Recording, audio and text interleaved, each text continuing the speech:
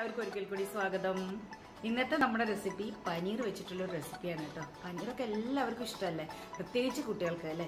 പക്ഷേ സാധാരണ നമ്മൾ ചെയ്യുന്നത് എന്താ? പനീർ ബട്ടർ മസാല വീട്ടിൽ എളുപ്പത്തിൽ ഉണ്ടാക്കാൻ പറ്റാവുന്നതും എല്ലാവർക്കും ഇഷ്ടമുള്ളതും പനീർ ബട്ടർ മസാലയാണ് അല്ലേ?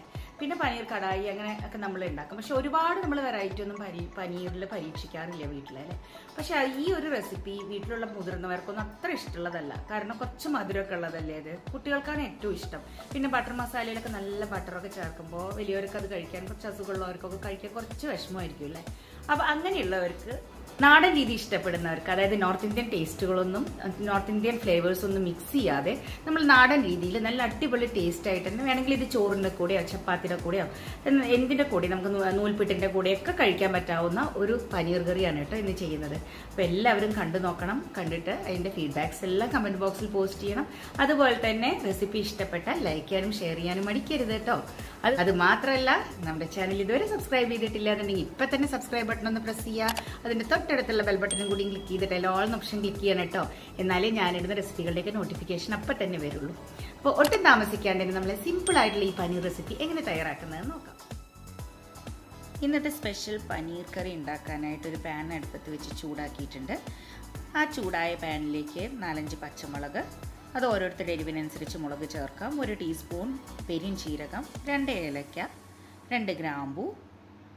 പിന്നെ നമുക്ക് ആവശ്യമുള്ളത് ഒരു അഞ്ചെട്ട് ബദാമാണ് കേട്ടോ ഞാൻ ചേർക്കണം ഇതിന് പകരം കാഷ്യൂസ് വേണമെങ്കിൽ ചേർക്കാം. അതുപോലെ തന്നെ ഒരു വലിയ ടീ ടേബിൾ സ്പൂൺ ഞാൻ കസ്കസ് ചേർക്കുന്നുണ്ട്. കസ്കസ് കിട്ടുന്നവർക്ക് ചേർക്കാം ഇല്ലാത്തവർ ചേർക്കണം നിർബന്ധമില്ല കേട്ടോ. അതിലേക്ക് ഒരു മൂന്ന് ടീസ്പൂൺ നാളികേരമാണ് ഞാൻ ചേർക്കുന്നത് അത് ഫ്രഷായിട്ട് നമ്മൾ ചിരകിയിട്ടുള്ള നാളികേരം. ഒരു നിറച്ചൊരു ടേബിൾ സ്പൂൺ എന്ന് പറയാം. ആ ഒരു കണക്കിന് അതും കൂടിയും ചേർത്ത് മീഡിയം ഫ്ലെയിമിലിട്ട് നമുക്കിതൊന്ന് വഴറ്റിയെടുക്കണം. ഇതിലേക്ക് എണ്ണ ചേർക്കേണ്ട ആവശ്യമില്ല. എണ്ണ ചേർക്കാതെ തന്നെ ഡ്രൈ ആയിട്ട് ഇതുപോലെ നന്നായിട്ട് റോസ്റ്റ് ചെയ്ത് ആ ഒരു കളറിൽ കിട്ടിയാൽ മതി കേട്ടോ ഇതാണ് കേട്ടോ ഇതിന്റെ കറക്റ്റ് പരിവം. ഇതിന് കൂടുതൽ കളർ മാറി റോസ്റ്റ് ആവേണ്ട ആവശ്യമില്ല. നമുക്കത് മാറ്റി വയ്ക്കാം ഇനി അടുത്ത പാനിലേക്ക് ഞാൻ കുറച്ച് സൺഫ്ലവർ ഓയിൽ ചേർത്തിട്ടുണ്ട്. അതിലേക്ക് മീഡിയം സൈസ് സവോള വളരെ കനം കുറച്ച് അരിഞ്ഞ് നല്ലോണം ചൂടായിട്ടുള്ള എണ്ണയിലേക്ക് ഇട്ട് വറുത്ത് കോരി മാറ്റാം. നമ്മൾ സാധാരണ ബിരിയാണിക്കൊക്കെ ബിസ്ത തയ്യാറാക്കില്ലേ? അതുപോലെ തന്നെ നമുക്ക് ഇത് മീഡിയം ഫ്ലെയിമിൽ ഇട്ടിട്ട് തന്നെ നന്നായിട്ട് വഴറ്റി കൊടുത്ത് നമുക്ക് വറുത്ത് കോരാട്ടോ ഈ പരുവത്തിൽ ഇതിനും കൂടുതൽ ഡാർക്ക് ആവാൻ പാടില്ല പിന്നെ ഉള്ളി കായ്ക്കാൻ തുടങ്ങും. അപ്പോൾ ഇത് നമുക്ക് വറുത്ത് കോരി മാറ്റി വെക്കാം. ഇതിപ്പോൾ സാധാരണ ബിരിയാണിക്ക് തയ്യാറാക്കുന്ന ബിസ്ത തന്നെ. അത് നമുക്ക് വഴറ്റിയെടുക്കാം. ഇങ്ങനെ ചേർക്കുമ്പോണ്ടല്ലോ നമ്മുടെ കറിക്ക് നല്ലൊരു ടേസ്റ്റാണ് കേട്ടോ തരുന്നത്. ഇനി നമുക്ക് അരപ്പ് തയ്യാറാക്കാനുണ്ട്. നമ്മൾ വറുത്ത് വെച്ചിരിക്കുന്ന മസാലക്കൂട്ട് നമുക്കൊരു മിക്സിയിലേക്ക് ചേർത്ത് ഒന്നാദ്യം വെള്ളം ചേർക്കാതെ തന്നെ നമുക്കൊന്ന് പൊടിച്ചെടുക്കണം. അതിനുശേഷം കുറച്ച് വെള്ളം ചേർത്തിട്ട് അരയ്ക്കാനുള്ള ആവശ്യത്തിനുള്ള വെള്ളം മാത്രം ചേർത്ത് ഏകദേശം ഞാൻ രണ്ട് ടേബിൾ സ്പൂൺ വെള്ളമേ ചേർത്തിട്ടുള്ളൂ.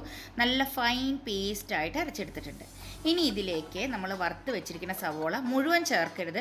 ഒരു ടേബിൾ സ്പൂൺ ഞാൻ മാറ്റി വെച്ചിട്ടുണ്ട്. ബാക്കിയുള്ളതെല്ലാം ചേർത്ത് നന്നായിട്ട് ഇതുപോലെ വെണ്ണ പോലെ ഞാൻ അരച്ചെടുത്തിട്ടുള്ളതാണ് കേട്ടോ ഇത്. ഇതവിടെ മാറ്റി വയ്ക്കാം നമുക്കിനി സവോള വറുത്തത് തന്നെ ഞാൻ ഒരു രണ്ട് ടേബിൾ സ്പൂൺ എണ്ണ അടുപ്പത്ത് വെച്ച് ചൂടാക്കി അതിലേക്ക് ഒരു പാക്കറ്റ് പനീറിന്റെ ക്യൂബ്സ് ആണ് കേട്ടോ ഞാൻ ഇട്ട് കൊടുക്കുന്നത്. ഇരുന്നൂറ് ഗ്രാമിന്റെ ഒരു പാക്കറ്റിന്റെ ക്യൂബിനുള്ള കണക്കാണ് ഞാൻ ഇതെല്ലാം പറയുന്നത്. അപ്പോൾ അത് ഞാനൊന്ന് ഇട്ട് കൊടുത്ത് ഒന്ന് മൂപ്പിച്ചെടുക്കാം. ഇത് ചൂടാവാൻ വേണ്ടുള്ളൂ കേട്ടോ. നമുക്ക് രണ്ട് സൈഡ് നല്ല ബ്രൗൺ കളർ ആവേണ്ട ആവശ്യമില്ല. അപ്പോൾ പിന്നെ പനീർ ബലം വെക്കും. ഞാനൊന്ന് ചെറുതായിട്ടൊന്ന് ചൂടാക്കി എടുത്തിട്ടേ ഉള്ളൂ. അത് മാറ്റി വെച്ചിട്ടുണ്ട്. അതേ എണ്ണയിലേക്ക് തന്നെ അരച്ചെടുത്തിട്ടുള്ള അരപ്പ് ചേർത്ത് നന്നായിട്ട് വഴറ്റിയെടുക്കണം കേട്ടോ. ഇനി ഈ അരപ്പ് ഒന്ന് എണ്ണയിൽ കിടന്നിട്ട് മൂക്കും നമ്മൾ ഓൾറെഡി വറുത്തതാണ്. അതുകൊണ്ട് ഒരുപാട് മൂക്കേണ്ട ആവശ്യമില്ല. ഏകദേശം ഒരു രണ്ട് മിനിറ്റ് മൂന്ന് മിനിറ്റ് ഒന്ന് വഴറ്റി കൊടുത്താൽ മതി. എണ്ണ ഒന്ന് തെളിഞ്ഞ് അരപ്പും എണ്ണയായിട്ട് യോജിച്ച് എണ്ണ ഒന്ന് തെളിഞ്ഞ് മാറി വരണം. ആ ഒരു പരുവത്തിന് നമുക്ക് വെയിറ്റ് ചെയ്യാം. ഇപ്പോൾ എണ്ണ എല്ലാം തെളിഞ്ഞ് വന്നിട്ടുണ്ട്. ഇനി ഈ സമയത്ത് നമുക്ക് മസാലപ്പൊടികൾ ചേർത്ത് കൊടുക്കാം. ഒരുപാട് മസാലകളൊന്നുമില്ല. വളരെ എളുപ്പമാണത് അപ്പോൾ നമ്മൾ എരിവിന് ഓൾറെഡി പച്ചമുളക് ചേർത്തിട്ടുള്ളതുകൊണ്ട് ഇപ്പോൾ കാശ്മീരി മുളക് പൊടി ഒരു ടീസ്പൂൺ ചേർത്തിട്ടുണ്ട്. നമുക്കൊരു നിറത്തിന് വേണ്ടിയിട്ട് മാത്രം. പിന്നെ ഒരര ടീസ്പൂൺ മഞ്ഞൾപ്പൊടി. ഒരര ടീസ്പൂൺ ഗരം മസാലപ്പൊടി. പിന്നെ നമുക്ക് വേണ്ടത് മീറ്റ് മസാലയാണ് കേട്ടോ മീറ്റ് മസാല ഞാൻ ഒരു ടീസ്പൂണും കൂടിയും ചേർത്ത് നമുക്ക് വഴറ്റി കൊടുക്കാം.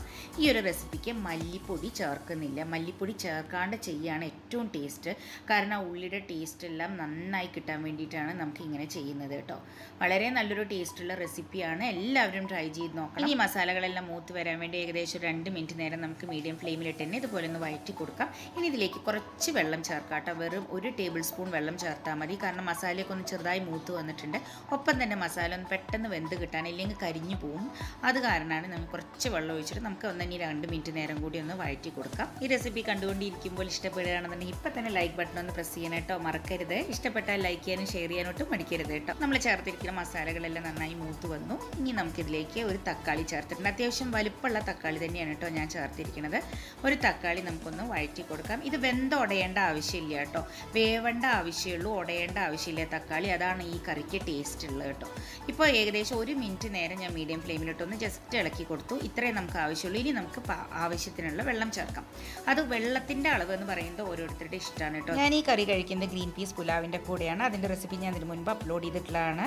അതിന്റെ ലിങ്ക് ഞാൻ ഡിസ്ക്രിപ്ഷൻ ബോക്സിൽ കൊടുക്കാം. നിങ്ങൾക്ക് ചപ്പാത്തി ഇടിയപ്പം അതിന്റെ കൂടെ കാണുമ്പോൾ കുറച്ചും കൂടി ഗ്രേവി ആക്കാം ആവാട്ടോ ഇപ്പം ഞാൻ അതിലേക്ക് ആവശ്യത്തിനുള്ള ഉപ്പും കൂടിയും ചേർത്ത് ഇതുവരെ നമ്മൾ ഉപ്പ് ചേർത്തിട്ടില്ലായിരുന്നു. അപ്പോൾ ഉപ്പും കൂടിയും ചേർത്തിട്ട് നമുക്ക് മീഡിയം ഫ്ലെയിമിലിട്ട് തന്നെ നന്നായിട്ടൊന്ന് തിളപ്പിച്ചെടുക്കണം.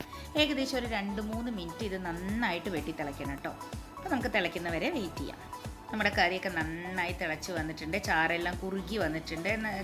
കസ്കസും ബദാമും ഒക്കെ ചേർത്തിട്ട് നമ്മൾ അരച്ചതല്ലേ അരപ്പ്. അപ്പോൾ തിളച്ച് വരുമ്പോൾ നല്ലൊരു റിച്ച് ടേസ്റ്റ് തരും അതിന് കേട്ടോ ഈ ഒരു കറിയുടെ ഗ്രേവി നല്ലൊരു ടേസ്റ്റാണ് കേട്ടോ അപ്പോൾ ഈ സമയത്ത് നമുക്ക് പനീർ ചേർത്ത് കൊടുക്കാം കേട്ടോ പനീർ ചേർത്തതിന് ശേഷം സ്റ്റവ് ലോ ഫ്ലെയിം ആക്കിയതിന് ശേഷം ഒരു അഞ്ച് മിനിറ്റ് നേരം നമുക്കൊന്ന് വേവിക്കാൻ വെക്കാം കേട്ടോ പനീറിലേക്ക് അതിൽ ഉപ്പും എല്ലാം പിടിക്കണം. അത് മാത്രമല്ല പനീർ ഒന്ന് ചെറുതായിട്ട് വെന്തും വരണം. അപ്പോൾ പനീർ ഒട്ടും ഉടയില്ല നമ്മളൊന്ന് ചെറുതായി വറുത്തെടുത്തിട്ടുള്ളതായതുകൊണ്ട് ഒട്ടും ഉടയില്ല വറുക്കാതെ അങ്ങനെ ചേർക്കുകയാണെന്നുണ്ടെങ്കിൽ കറിയിൽ ഉടയാൻ സാധ്യതയുണ്ട്. അപ്പോൾ ഇതുപോലെ തന്നെ എല്ലാവരും ട്രൈ ചെയ്ത് നോക്കാം. പനീർ ഇഷ്ടപ്പെടുന്ന എല്ലാവർക്കും ഈ റെസിപ്പി ഭയങ്കര ഇഷ്ടമാവും. പിന്നെ ദബാ സ്റ്റൈലിലുള്ള പനീർ പനീർ ബട്ടർ മസാല ഇതെല്ലാം ഞാൻ മുൻപ് ഞാൻ പോസ്റ്റ് ചെയ്തിട്ടുള്ളതാണ് എന്റെ ചാനലിൽ അപ്പോൾ ഇഷ്ടമുള്ളവർക്ക് അതിന്റെ ലിങ്ക് ഞാൻ ഡിസ്ക്രിപ്ഷൻ ബോക്സിൽ കൊടുക്കാം കേട്ടോ. അപ്പോൾ എല്ലാവരും ഒന്ന് കണ്ടു നോക്കൂ. എളുപ്പത്തിലുള്ള റെസിപ്പികളാണ് കേട്ടോ ഞാൻ പോസ്റ്റ് ചെയ്യുന്നത്. ഇപ്പോൾ നമ്മുടെ പനീർ കറി എല്ലാം ഇവിടെ റെഡി ആയിട്ടുണ്ട്. നമുക്ക് സ്റ്റൗ ഓഫ് ചെയ്ത് കൊടുക്കാം. ആ സമയത്ത് ലാസ്റ്റ് കുറച്ച് മല്ലിയില നമുക്ക് തൂവി കൊടുക്കാം. പിന്നെ നമ്മൾ മുൻപ് എടുത്ത് വെച്ചിട്ടുണ്ടായിരുന്ന വറുത്ത സവോളയും കൂടി ഇതിന്റെ മുകളിൽ ഇട്ട് കൊടുത്ത് നമുക്ക് കറി അടച്ചു വെക്കാം. ഏകദേശം ഒരു പത്ത് മിനിറ്റ് ശേഷം മാത്രം സെർവ് ചെയ്യാം. എല്ലാവർക്കും ഇന്നത്തെ ഈ സ്പെഷ്യൽ പനീർ റെസിപ്പി ഇഷ്ടപ്പെട്ട് കാണുമെന്ന് വിചാരിക്കുന്നു. ഇഷ്ടപ്പെട്ടാൽ എല്ലാവരും ട്രൈ ചെയ്ത് നോക്കിയിട്ട് കമന്റ് ബോക്സിൽ ഫീഡ്ബാക്സ് അറിയിക്കണം. ഞാനിത് ഗ്രീൻ പീസ് റൈസ് കൂടെയാണ് കഴിക്കുന്നത്. നല്ലൊരു കോമ്പിനേഷൻ ആണ് കേട്ടോ. നിങ്ങൾക്ക് എന്ത് കൂട്ടി കഴിക്കാനാണെന്നുള്ള കമന്റിൽ അറിയിക്കും. വീണ്ടും വേറെ റെസിപ്പിയായി കാണാം. Till then bye bye thank you for watching my videos